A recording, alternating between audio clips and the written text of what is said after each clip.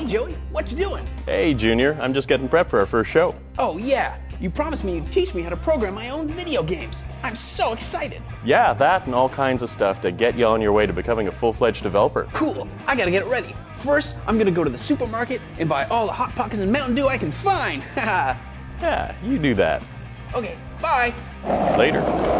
Stay tuned for Developer Junior coming soon to butterscotch.com.